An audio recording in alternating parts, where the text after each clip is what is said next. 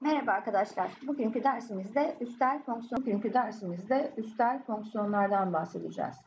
Nedir üstel fonksiyon? Şimdi e, her şeyden önce üstel fonksiyon dediğimiz fonksiyon arkadaşlar bir x reel sayısını tabanı sıfırdan büyük ve birden farklı olan bir sayının bakın x kuvvetin şeklinde tanımlanan bir pozitif reel sayıyla eşleştiren e, bir kuraldır. Burada evet bu üstel fonksiyon arkadaşlar. Burada taban neymiş? Pozitif ve aynı zamanda neymiş? Birden farklıymış. Peki burada e, x'ler nereden alınacak? Hangi kümenin elemanı olacaklar? Reel sayılardan her x reel sayısı için o x'i a'nın bir sabit bir e, taban tabanın x'inci kuvvetiyle eşleştiren bir fonksiyon. Taban sıfırdan büyük ve birden farklı olduğu için bizim e, fonksiyonumuzun alacağı değerler, değer kümemiz pozitif reel sayılar olacaktır. Şimdi öyleyse e, bazı örnekler mesela verelim. Ne gibi fonksiyonlar acaba üstel veya üst, e, üst olacak hangileri üstel olmayacak? Bakalım. 1 bölü 2'nin x'inci kuvveti. Bu bir üstel fonksiyon mudur? E, tabana bakıyorum. Taban 1 bölü 2. Sıfırdan büyük mü? Evet. Birden farklı mı? Evet. Öyleyse bu bir üstel fonksiyondur. Peki başka bir örnek. 3 üzeri x. Tabana bakıyorum. Taban sıfırdan büyük mü? Evet. Birden farklı mı? Evet. Öyleyse bu da bir üstel fonksiyon. Başka bir örnek. fx eşittir. Eksi 2'nin x'inci kuvveti. Eksi 2'nin x'inci kuvvetine baktığımız zaman taban dediğimiz sayımız kaç? Eksi. Öyleyse bu ne olamaz? Bir üstel fonksiyon olamaz. Çünkü taban sıfırdan büyük olma şartını ne yapmıyor? Sağlamıyor. Hemen başka bir örnek verelim arkadaşlar. Başka bir örnek verelim. O da şu şekilde olsun. F fonksiyonu reel sayılardan pozitif reel sayılara tanımlanmış olsun. Ve fx eşittir ne olsun? 2a eksi 1 üzeri x. Ee, bu fonksiyonun bu fonksiyonun üstel fonksiyon olması için olması için a'nın a'nın e, ne olması gerekir? Hangi aralıkta olması gerekir? Hangi aralıkta e, olması gerekir diye soralım. Evet, şimdi ne demiştik?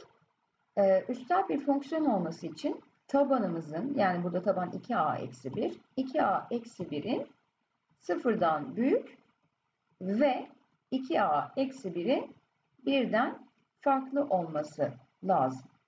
Bu durumda 2a e, eksi 1 büyüktür 0 eşitsizliğini nasıl çözeceğim? Eşitsizliğin her iki tarafına 1 sayısını ekleyeceğim. Böylelikle eşitsizlik bir önceki eşitsizliğe denk olacak. Aynı çözüm kümesine sahip olacaklar. Eşitsizliğimizin her iki tarafını 2'nin çarpmaya göre tersi olan 1 bölü 2 ile çarpacağım. Ve 1 bölü 2 pozitif bir sayı olduğu için arkadaşlar bu eşitsizliğin yönü değişmeyecek. Bu olarak ne olması lazım? A'nın 1 bölü 2'den büyük olması lazım. Peki diğer tarafa geçiyorum. 2A eksi 1'in birden farklı olması gerektiğine göre ben ilk önce 2a eksi 1'i 1'e eşitleyerek 2a'yı 1, 2a eksi 1'i 1 yapan değeri bulayım. Her iki tarafı 1 ekledim ve her iki tarafı 2'ye böldüm. a'nın kaç olmaması gerekiyormuş? a'nın bir kere a1 olduğu zaman 2a eksi 1 1'e eşit oluyormuş. Demek ki a'nın birden farklı olması lazım. Öyleyse benim çözüm kümesi ne olması lazım? Yani A'nın elemanı olacağı aralık hangi aralık olması lazım? 1 bölü 2'den büyük olan reel sayılar fark 1 olması lazım diyoruz. Evet, benzer bir örnek daha yapalım ama bu sefer isterseniz e, ikinci örneğimizde şöyle yapalım. Gene f fonksiyonu reel sayılardan pozitif reel sayılara tanımlanmış olsun. f x eşittir. Bu sefer de e, mesela 1 eksi 3a üzeri x olsun. Bu fonksiyonun üstel fonksiyon olması için fonksiyonun üstel olması için üstel fonksiyon olması için için a'nın hangi aralıkta olması gerektiğini bulacağız. Bu sefer dikkat etmemiz gereken şey şu. a'nın katsayısı negatif. 1 eksi 3a sıfırdan büyük olmalı ve 1 eksi 3a birden farklı olmalı. Şimdi bu ikisini birlikte değerlendireceğiz. Şimdi yine bu eşitsizliğin her iki tarafına her iki tarafına ne yapacağım? Birin toplamaya göre tersine ekleyeceğim. Ne oldu? Eksi 3a büyüktür. Eksi 1 oldu. Şimdi eşitsizliğin e, her iki tarafını neyle çarpmam veya neye bölmem lazım? Eksi 3 ile çarpmam lazım. Ancak eksi 3 negatif bir sayı olduğu için eşitsizliğimizin burada yönü değişecek. Eğer her iki tarafı eksi 3 ile bölersem. A ne olacak? 1 bölü 3 olacak. Değil mi? A 1 bölü 3'ten küçük olmalı. Aynı zamanda 1 eksi 3A'nın birden farklı olması lazım. Öyleyse 1 eksi 3A'yı 1'e eşit yapan değeri bulalım. Bu da nedir? A'nın e, 0 olması durumunda e, ne olması ne olur? 1 eksi 3A 1'e eşit olur. Demek ki demek ki 1 eksi 3A'nın birden farklı olması için A'nın sıfırdan farklı olması gerekiyor. Bu durumda A'nın hangi kümenin elemanı olması gerekmektedir? 1 bölü 3'ten küçük olan reel sayılar ve e, bu, bu kümeden, bu kümenin elemanı olan sıfırda ne yapmak zorundayım? Çıkartmak zorundayım. Çünkü A e, sıfıra eşit olduğunda 1 eksi 3A 1'e eşit olmuş oluyor. Böylelikle çözümümüzü bulmuş olduk. Şimdi arkadaşlar, evet, bunun e, peki bunun dışında başka ne ifadesi söyleyebiliriz arkadaşlar? Şunu söyleyebiliriz. Evet, üstel fonksiyonlarla ilgili. Üstel fonksiyonların e, artan fonksiyonların e, artan veya azalan olup olmamasını inceleyelim. Artanlığı diyelim. Şimdi bu ne demektir? Artan ne demektir? Önce onu anlatalım. F fonksiyonu A'dan B'ye tanımlanmış olan bir fonksiyon olsun. A ve B de reel sayılar kümesinin alt kümesi olsun. x1 ve x2 gibi iki tane eleman alalım tanım kümesinden ve e, x1'in de x2'den küçük olduğunu varsayalım. Şimdi x1 x2'den küçük iken f fonksiyonunda x1'in görüntüsü f fonksiyonunda x2'nin görüntüsünden de küçük oluyor ise biz f fonksiyonuna a kümesinde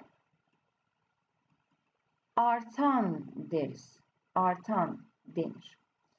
Yani x'ler büyüdükçe, x'ler büyüdükçe, x'ler arttıkça, x'ler artınca ne oluyor bu durumda? y eşittir fx dediğimiz y değerlerimizde ne yapıyor? Artıyor. İkisi de aynı yönlü hareket ediyor. x büyüdükçe y de büyüyor.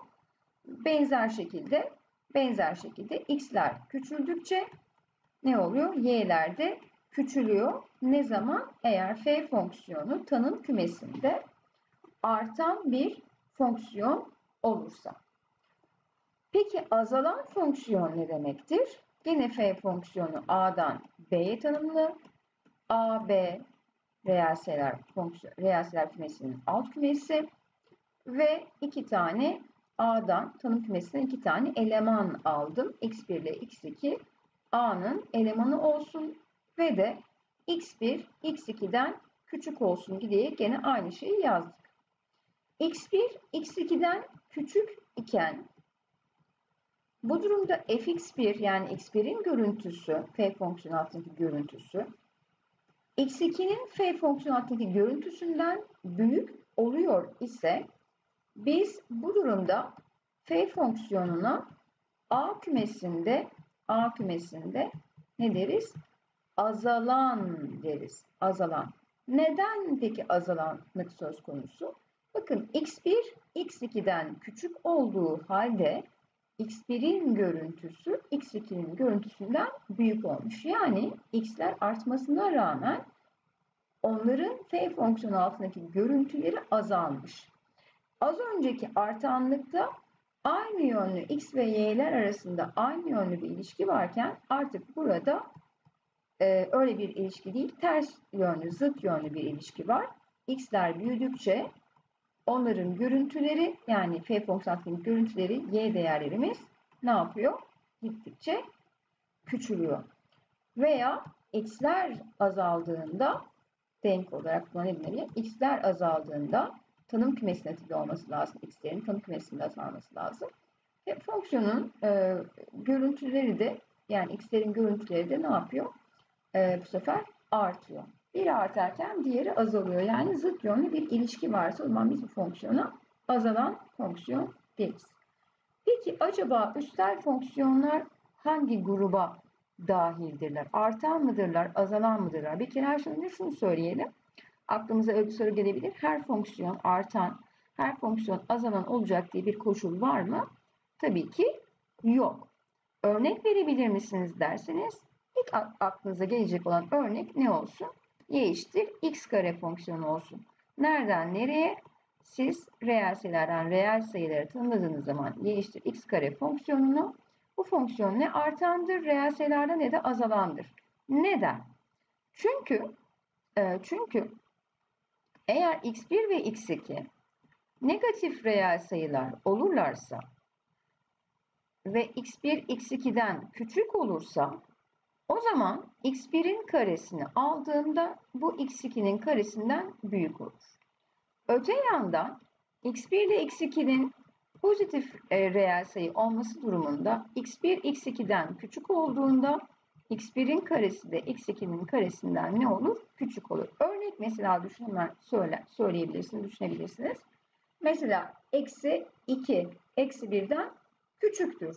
Karesini alın eksi 2'nin 4. Eksi 1'in karesini alın 1. Hangisi daha büyük? Tabii ki 4 daha büyük. Yani eksi 2'nin görüntüsü eksi 1'in görüntüsünden büyük. Doğal olarak e, tanım kümesinin tamamında artan veya tamamında azalan olmadığına göre y eşit x kare fonksiyonu r'de ne artandır ne de azalandır. Yani illa bir fonksiyon artan veya azalan olacak diye bir koşul söz konusu değildir. Ancak üstel fonksiyonlar için bakarsak eğer üstel fonksiyonlar için bakalım artanlık ve azalanlık var mı yok mu? Burada e, iki farklı e, şekilde düşünmek zorundayız. Bir, taban acaba bir sayısından büyük mü? A birden büyük olsun diyeceğim. A birden büyük olsun. Yani taban 1.2, 3.8, 4, 5 gibi birden büyük olan sayılar olacaklar. Ee, ve biliyorsunuz bizim üstel fonksiyonumuzun tanım kümesi tüm reel sayılarda görüntü kümesi de pozitif reel sayısıdır veya değer kümesi. Ee, fx eşittir a üzeri x'in bakalım inceleyelim nedir? Ee, artan mıdır, azalan mıdır diye bakalım. Hatta isterseniz burada bir örnek üzerinden göstereyim. Yani mesela a'nın 2 olduğunu e, varsayalım. fx'i de hatta 2 üzeri x olarak tanımlayalım. Şimdi x1 ve x2 birer reel sayı olacaklar. Acaba acaba 2 üzeri x1 2 üzeri x2'den küçük olur mu diye soruyor. Şimdi e, şunu biliyoruz ki e, tabii ki 2'nin kuvvetlerini aldığında tüm reel için kuvvetlerini aldığında tabii ki kuvvetler büyüdükçe sayıların yani 2'nin e, kuvvetlerinin alacağı değerlerin büyüyeceğini biliyoruz. Nereden biliyoruz? Bunu hem tam sayılardan biliyoruz. Yani indüksiyon yöntemiyle de gösterebilirsiniz. E, tam sayılar içinde kullanılır. Yani tam sayılardan yararlanarak indüksiyon yöntemiyle bunu ispatlayabiliriz. E, hem de e, genel olarak bir sayının e, x birinci kuvvetinin yani bir reel kuvvetinin demek olduğunun tanımını da bildiğimiz için bunu ifade edebiliyoruz. Yani örnek vereyim daha rahat e, anlamanız açısından tam sayı değerlerini vererek göstereyim. 2'nin birinci kuvveti, 2'nin ikinci kuvveti, 2'nin üçüncü kuvveti ne yapacak? Böyle gittiğini düşünün. Bakın hangisi daha büyük? Tabii ki 2'nin kübü diğerlerinden daha büyük. Hatta burada negatif kuvvetler de söz konusu olabilir değil mi? Ee, x'ler büyüdükçe yani x'ler büyüdükçe eksi 1 birden küçük, o 2'den küçük, o da 3'ten küçük. Böyleyken 2 üzeri eksi 1, 2'nin birinci kuvveti, o da 2'nin karesi, o da 2'nin kübünden küçük oluyor mu? Evet oluyor ki bu bütün reel sayılar için e, geçerli olacak olan bir kuraldır. Öyleyse bu fonksiyonun artan olduğunu ifade edebiliriz. Peki neden birden büyük olması durumunu inceledik? Yani taban neden birden büyük olsun dedik? Birden büyük olmasaydı o zaman ne olacaktı? Ona bakalım. Yani tabanımız e, 0 ile 1 arasında bir sayı olsaydı o zaman ne değişecekti? Onu da isterseniz örnekle göstereyim. Yani 1 bölü 2'nin x'inci kuvvetini alalım. 1 bölü 2'nin x'inci kuvvetini ben şöyle yazabilir miyim? 1 bölü 2'nin e, bu neye eşittir? 2'nin eksi 1. kuvvetidir değil mi? Bu aslında 2 üzeri eksi x'e eşit midir? Evet çünkü ne biliyoruz biz? 1 bölü 2 2'nin eksi 1. kuvvetine eşit. Ve aynı zamanda şu özelliğimizi de biliyoruz. Bir sayının m'inci kuvvetinin n'inci kuvveti a üzeri m çarpı n'ye eşittir. Yani e, 2'nin şey 1 bölü 2'nin 1 bölü 2'nin x'inci kuvveti 2'nin eksi birinci kuvvetinin x'inci kuvveti o da 2 üzeri eksi x'e eşit olur. Buradan biliyoruz. Peki bu durumda 2 üzeri eksi x. Şimdi x'ler x'ler x1 x2'den küçük olduğunda olduğunda e, eksi x1 ne olur? Eksi x2'den büyük olur değil mi? Bu durumda da madem ki 2, 2 üzeri değil mi? E, yani taban 2 üzeri eksi x fonksiyonu. Bu durumda acaba ne olacaktır arkadaşlar? 2 üzeri eksi x1 ne olacaktır? 2 üzeri eksi x2'den büyük olacaktır. Ne oldu? Burada e, 2'nin üzeri x fonksiyonunun az önce artan bir fonksiyon olduğunu söylediğimiz için eğer eksi x1 eksi x2'den büyükse 2 üzeri eksi x1 de 2 üzeri eksi x2'den büyük olacaktır. Ne çıktı? x1 x2'den büyük olduğunda 2 üzeri eksi x1 2 üzeri eksi x2'den nedir? Büyüktür. Yani f fonksiyonu nedir? Azalandır. Yani taban sıfırla e, sıfırla 1 arasında bir sayı olduğunda 1 bölü 2, 0.3, 0.5, 0.7 gibi bir sayı olduğu zaman taban bu fonksiyon azalandır. Bunu farklı şekilde de görebilirdiniz. Yani 1 bölü x'in şey 1 bölü şurada x diyelim. Burada 1 bölü 2'nin x'inci kuvveti diyelim. x'in yerine ne verdin? 1 verdin. Sonuç ne oldu? 1 bölü 2 oldu. x'in yerine 2 verdin. Sonuç ne oldu? 1 bölü 2'nin karesi yani 4. x'in yerine 3 verdin. Sonuç ne oldu? 1 bölü 8. Şimdi bak dikkat edersen e, pay zaten sabit. Payda giderek ne yapıyor? Büyüyor. Peki burada x'ler ne yapıyor? Artıyorlar. x'ler artıyor. x'ler artıyor. Peki bu 1 bölü 2, 1 bölü 8, 1 bölü 4, 1 bölü 16 bunlar ne yapıyor? Azalıyor. x'ler artarken fonksiyonun altı değerler azalıyor ise o zaman biz bu fonksiyonu ne deriz? Azalan bir fonksiyon deriz arkadaşlar. Pekala. Şimdi biraz onların grafiklerini de göstereceğim. Ee, nasıl çizileceklerini ve aradaki farkları göstereceğiz ama e, hemen bir tane şöyle soru soralım.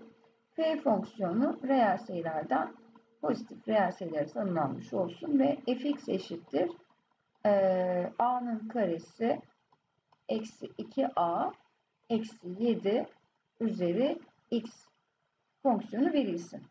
Bu f fonksiyonunun f'nin reel sayılarda artan olması için artan olması için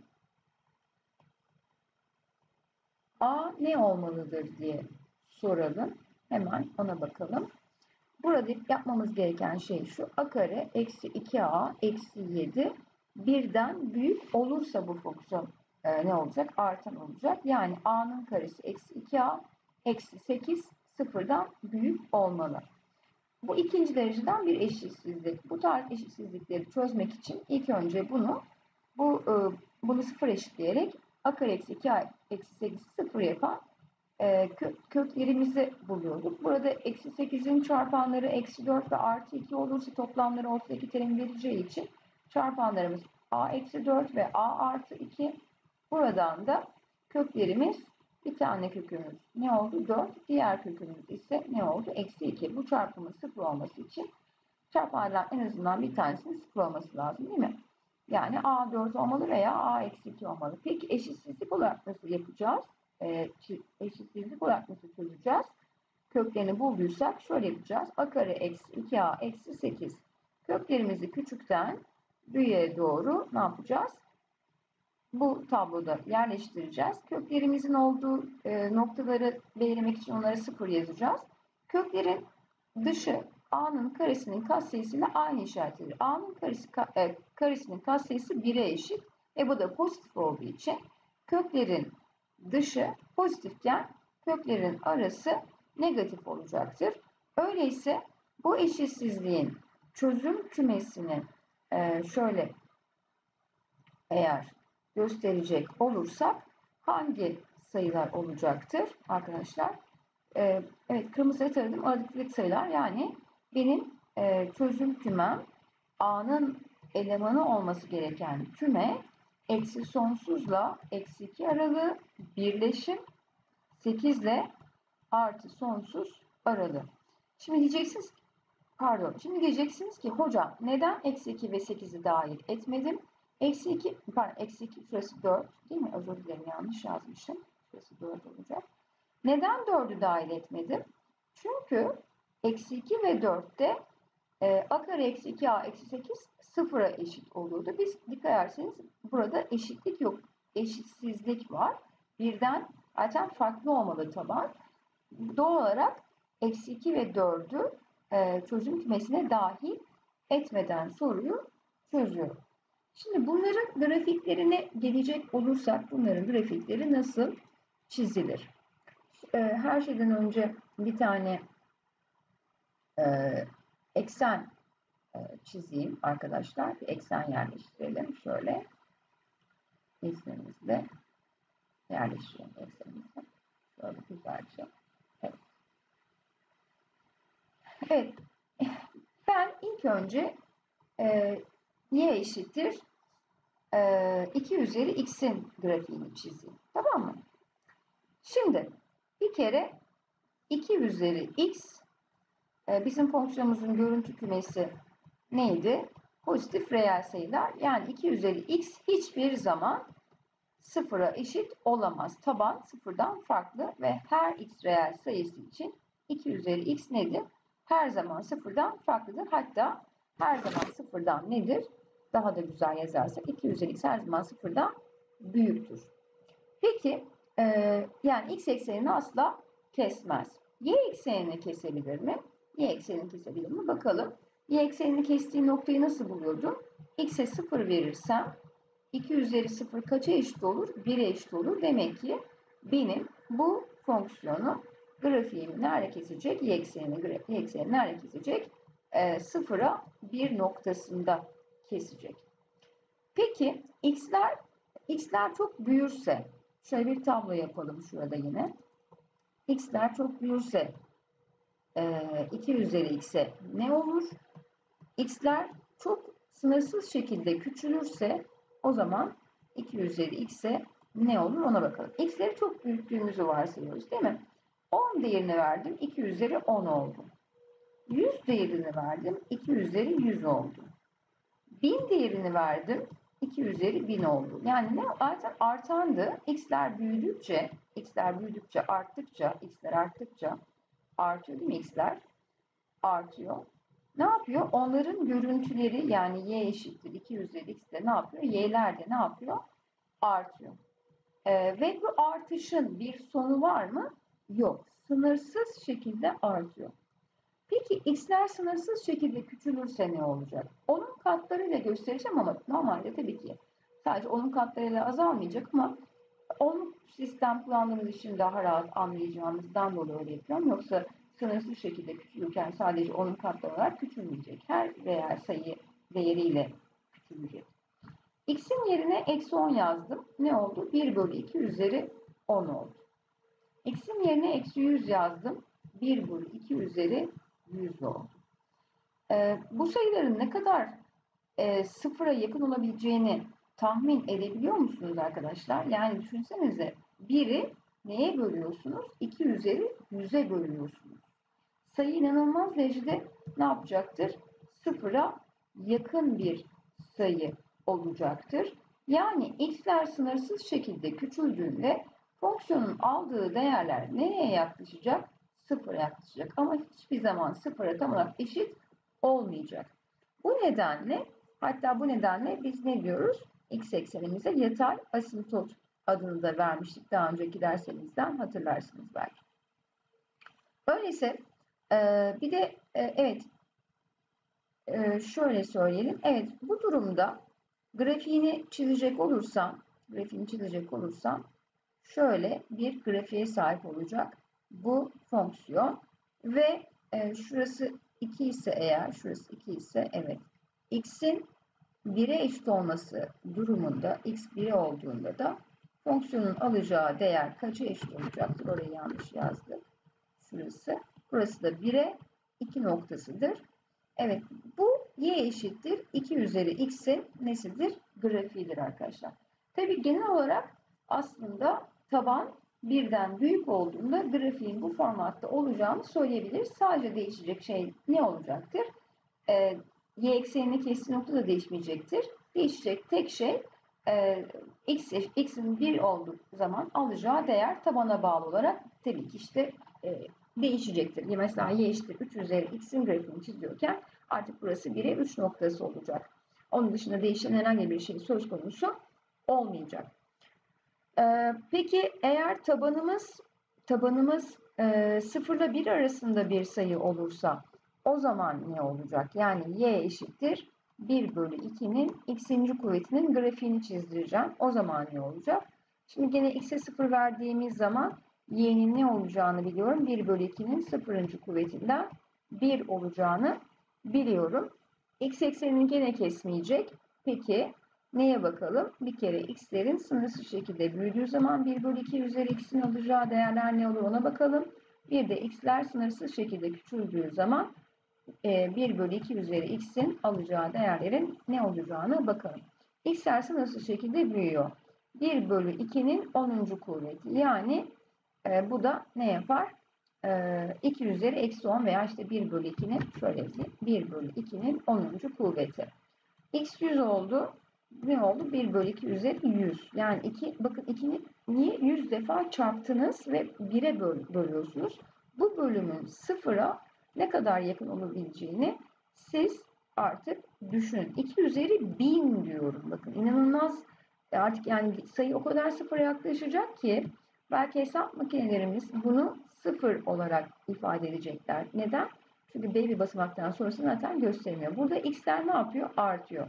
Peki y'ler ne yapıyor? y'ler ise nereye yaklaşıyor? Sıfır değerine yaklaşıyor. x'ler büyüdükçe 1 bölü 2 x'in alacağı değerler sıfıra yaklaşıyor. Peki x'ler küçülünce ne olacak? Bu sefer bu ifade 2 üzeri 10 oldu. X, x eksi 10 olduğunda 1 bölü 2'nin eksi 10. kuvveti 2 üzeri 10'a eşit olur.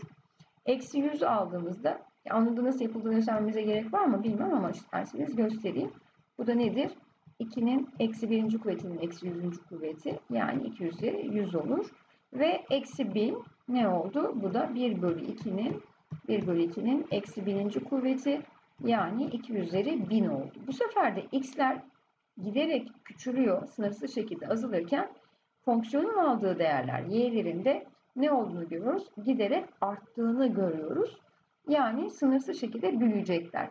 O zaman grafiğimiz nasıl çizilecektir derseniz o zaman grafiğimizi de hemen çizelim. Önce eksenimizi gösterelim. Sonrasında GeoGebra'da e, bunların e, şeyli versiyonlarını ne derler? Animasyonlu versiyonlarını size gösterelim. gösterelim. Şimdi e, evet x gene sıfıra eşit olduğunda y kaç? 1'e eşit. Şurası 1 olsun. Gene y eksenimizi nerede keseceğiz? E, sıfıra 1 noktasında keseceğiz. Peki e, x x'ler sınırsız şekilde e, küçüldüğünde x'ler x'ler sol tarafa doğru gittiğinde fonksiyonun aldığı değerler giderek artıyordu. O zaman üçüncü bölgeden, şey, ikinci bölgeden şuradan geleceğim. Ve x'ler büyüdükçe de fonksiyonun aldığı değerler sıfıra yaklaşacak ama hiçbir zaman sıfıra eşit olamaz. Çünkü 2, 1 bölü 2'nin x'inci kuvveti de her zaman nedir? Sıfırdan büyük bir sayıdır. Öyleyse onun da grafiğini çizmek istersek şu şekilde e, başka bir renkli kalemle gösterelim onu da. O da şu şekilde şöyle azalarak gidecek arkadaşlar. Evet madem ki bir burası olmak istiyormuş demek ki yukarıdaki yerini beğenmedi bizim e, şey. Evet, maalesef şurayı beğenmedi. Onu da e, küçük gibi sileceğiz herhalde. Evet, şurayı sileceğim. Yani velhasılı kelam sonuç olarak bir artık burası benim e, y eksenimi kestiğim nokta. Peki bu neyin grafiğiymiş? 1 bölü 2'nin x'inci kuvvetinin grafiğiymiş. Bu dikkat ederseniz azalan. E, azaldığını nasıl anlıyorum? x'ler büyüdükçe fonksiyonun aldığı değerler ne yapıyor? Giderek küçülüyor. Peki x'in bir noktası mesela şurası ise e, x eşittir 1'de fonksiyonun aldığı değer. Mesela kaçtır? Şurası 1 mi? 0.5 tam olarak şurası olsun. Evet şurası mesela x eşittir 1 ise burada fonksiyonun aldığı değer kaça eşit? 1 bölü 2'ye eşit. Evet şimdi sizinle GeoGebra sayfasını da e, paylaşalım arkadaşlar izninizle. Evet arkadaşlar şimdi e, gördüğünüz üzere bu bir üstel e, fonksiyonun grafiği ve e, eğer dikkat ederseniz e, ne söz konusu oluyor burada? Taban e, e, şu anda 0 ile 5 arasında değişiyor dikkat ederseniz. 0 ile 5 arasında değişirken de e, grafiğimizin nasıl değiştiğini görebiliyorsunuz. Şu anda hala da birden büyük dikkat ederseniz. E, birden küçük olduğu zaman ise, biraz daha yavaşlatalım bunu.